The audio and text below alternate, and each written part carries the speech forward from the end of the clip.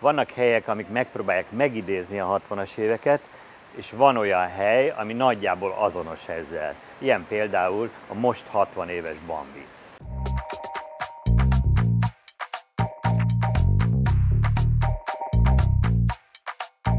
Meleg szendvics, pikoló, rántotta, és természetesen a dupla ebben a bizonyos klasszikus retro durit üvegpohárban, ami abban, azokban az évtizedekben szorította ki a hagyományos porcelán kávéseszközöket, és egyébként csak annyira volt hungarikum, hogy Csehszlovákiában gyártották.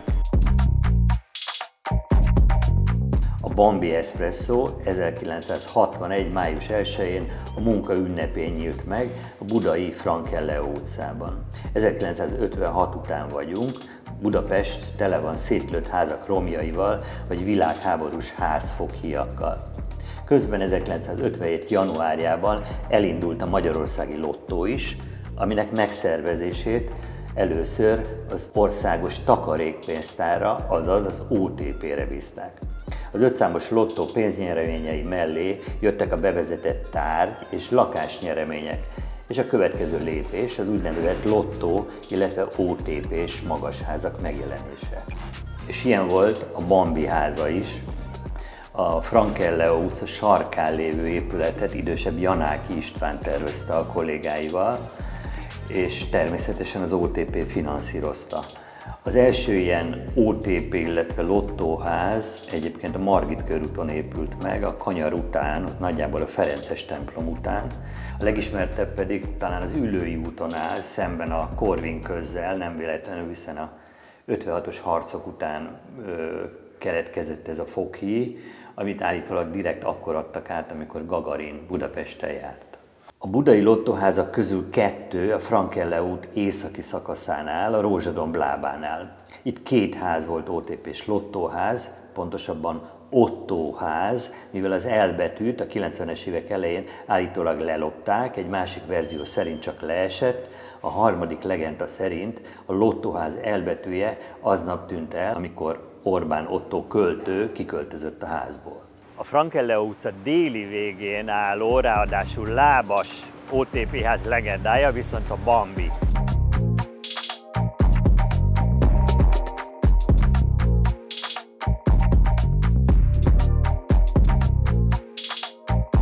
Az épület 1957-ben készült el, szintén egy háborús fokhi helyére, és három év múlva itt a földszintjén nyílt meg a Bambi Espresso.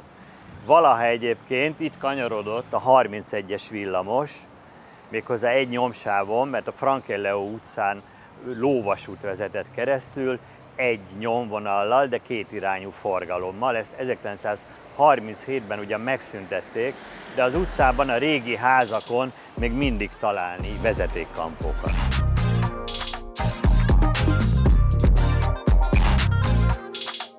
Bambi viszont azóta, azaz 1961 óta lényegében nem változott.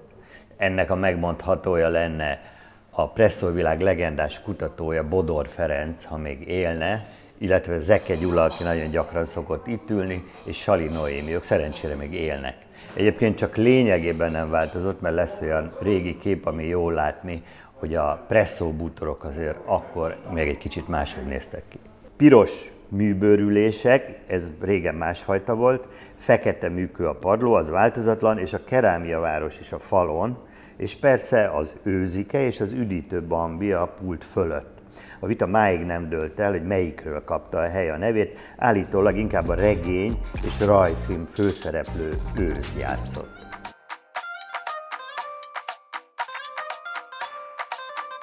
A belső helység falán pedig ott a híres vízivárost ábrázoló ö, majolika kép, amiről szintén két verzió létezik. Az egyik szerint ez Erdély Miklós, akkor Avangard apa figurájához kötődik, a másik szerint Gorka Líviához.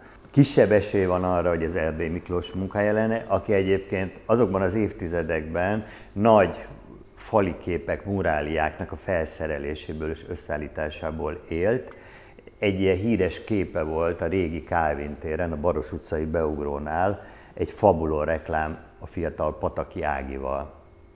99%-ban viszont ez valószínűleg mégis Gorka Lívia műve, a kor híres kerámikusáé, a még híresebb Papa Gorka Géza lányáé, aki az, azokban az évtizedekben nagyon divatos és jellegzetes kaspók, vázák, hamutálcáknak a készítője.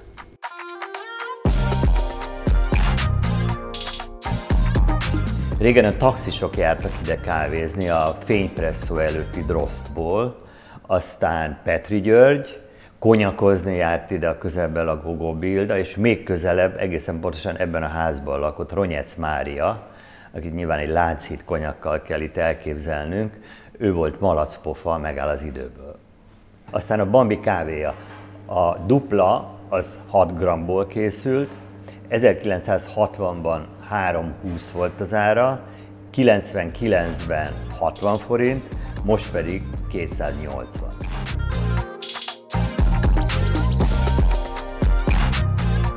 A Bambi megélt 6 évtizedet, tulajdonos és rendszerváltást, és ma jobban virul, mint valaha.